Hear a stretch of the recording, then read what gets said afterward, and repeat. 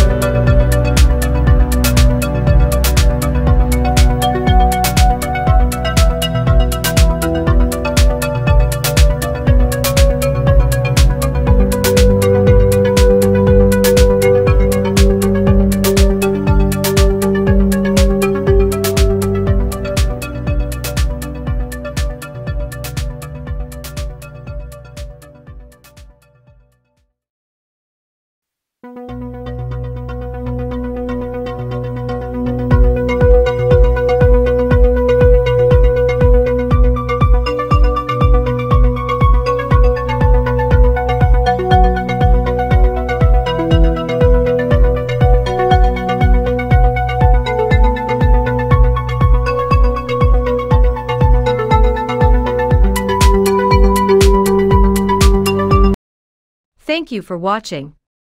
For more free capstone projects ideas and resources, please subscribe and click the notification bell to receive free updates on our channel. You may also reach us on our Facebook page and website.